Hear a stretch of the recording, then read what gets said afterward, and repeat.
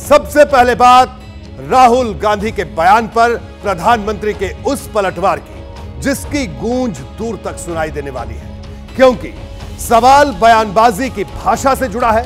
पहले कांग्रेस ने पीएम मोदी पर भाषा की मर्यादा तोड़ने के आरोप लगाए थे। अब राहुल गांधी के बयान के बाद मोदी ने इसे एक कामदार को नामदार की ठोकर करार दे डाला है।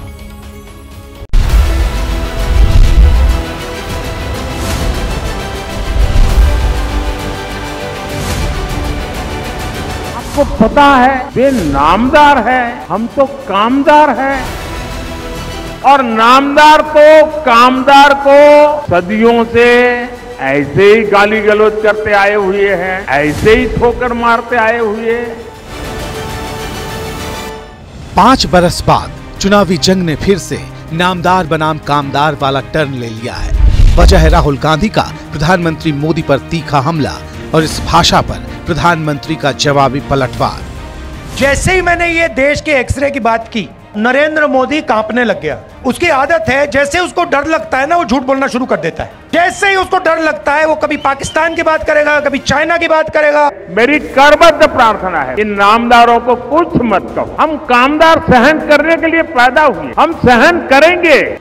राहुल गांधी पर प्रधानमंत्री मोदी का ये वो तीखा तंज है जो विपक्षी खेमे में अब खलबली का सबब है। क्योंकि मोदी ने सैम पित्रोदा की तरफ़ से आए विरासत टैक्स वाले बयान को अब सीधे सीधे राहुल गांधी की सोच से ही जोड़ दिया है। कांग्रेस कुर्सी के लिए छटपटा रही है। आजकल शाही परिवार के शाहजादे पूरे देश में बढ़ चढ़ करके कह रहे हैं, अब आपकी संपत्ति का एक्सरे होगा, एक्सरे। इनके मंसूबे सफल नहीं होंगे ये मोदी की गारंटी है। कांग्रेस इसे प्रधानमंत्री की बौखलाहट बता रही मुद्दे से भटकाने की कोशिश करार दे रही है।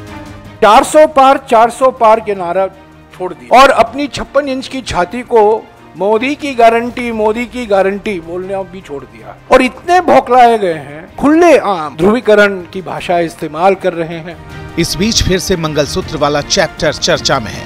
पीएम मोदी ने मंगलसूत्र का हवाला दोबारा दिया तो कांग्रेस ने भी पलटवार में हदों की परवाह नहीं की। मंगलसूत्र हो छोटा मोटा चांदी या सोना चांदी का गहना हो, इसे पवित्र माना जाता। कांग्रेस उसे जब्त करके अपनी वोट बैंक मज़बूत करने के लिए बांटने की सार्वजनिक घोषणा कर रही है। मैनिफेस्टो में बता रही है। बताएँ किस पन्ने पर हमने धन पुनर्वितरण का ज़िक्र किया है? हमने कहा है कि हम मंगलसूत्र लेंगे निम्न मध्य वर्गों परिवारों से और किसी और को मंगलसूत्र पहनवाएँगे। जो व्यक्ति मंगलसूत्र का सम्मान नहीं किया है अपने जीवन में आज वो मंगलसूत्र के बारे में बोल रहे हैं। प्रधानमंत्री मोदी ने दावा किया कि जब खुद की विरासत में मिली संपत्ति को बचाने की बात आई थी तो पूर्व प्रधानमंत्री राजीव गांधी ने विरासत टैक्स को ही खत्म कर दिया था और अब नए सिरे से इसे मुद्दा बनाया जा रहा है। देखिए, विरासत टैक्स पर बहस के बीच में प्रधानमंत्री मोदी ने दावा किया कि जब खुद पूर्व प्रधानमंत्री राजीव गांधी के सामने विरासत टैक्स चुकाने की नौबत आई तो उनकी सरकार ने इस टैक्स को ही खत्म कर दिया।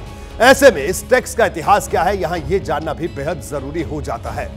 उन्नीस में संसद ने state duty death tax act pass किया था। इसके तहत संपत्ति के मालिक की मौत के बाद संपत्ति जिस भी व्यक्ति को मिलती थी, उसके लिए चल अचल संपत्ति के साथ ही खेती की ज़मीन की कीमत पर टैक्स चुकाने का प्रावधान था। टैक्स तभी वसूला जाता था जब विरासत में मिली प्रॉपर्टी की कीमत तय मूल्य की सीमा से ज़्यादा होती थी।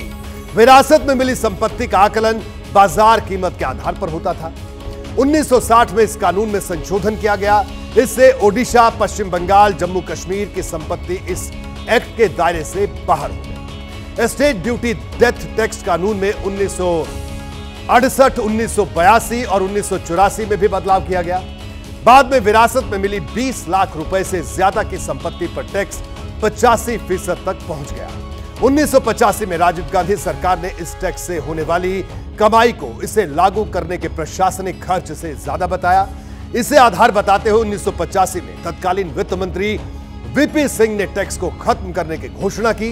मौजूदा समय में विरासत में मिली संपत्ति पर कोई टैक्स नहीं। है जैसे ही घड़ी का काटा दोपहर ढाई पे आए, बबीता जी का दिल सास बहू साजिश के लिए मचल जाए। और ये है इनकी बहू। पूरे दिन ऑफ़िस की टेंशन हो जाए गॉन जब ये करें अपना फेवरेट शो फ्री टाइम पे ऑन इनकी तरह, आप भी देखिए अपना फेवरेट शो अपने टाइम पर। और डाउनलोड कीजिए एबीपी लाइव ऐप अपने स्मार्ट टीवी पर।